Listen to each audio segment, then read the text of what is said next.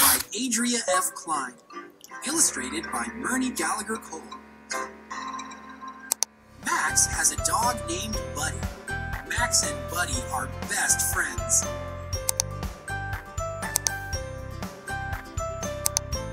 Buddy.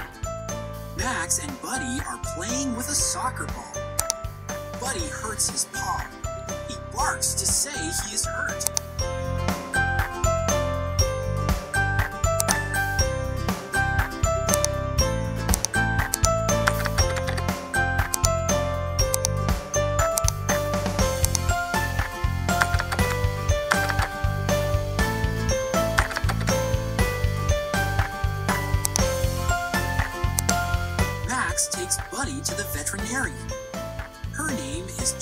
Jones.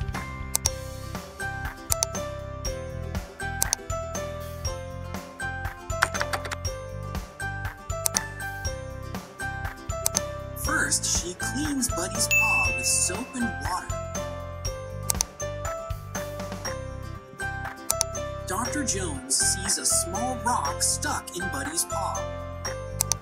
First, she cleans Buddy's paw with soap and water.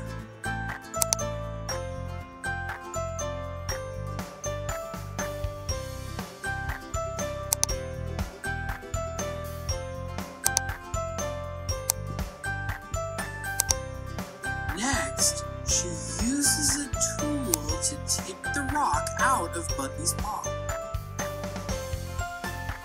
Then, Dr. Jones puts a bandage on Buddy's paw. Buddy barks to say he is happy. Finally, Dr. Jones gives Buddy a doggy bone. He tells Max that Buddy is okay.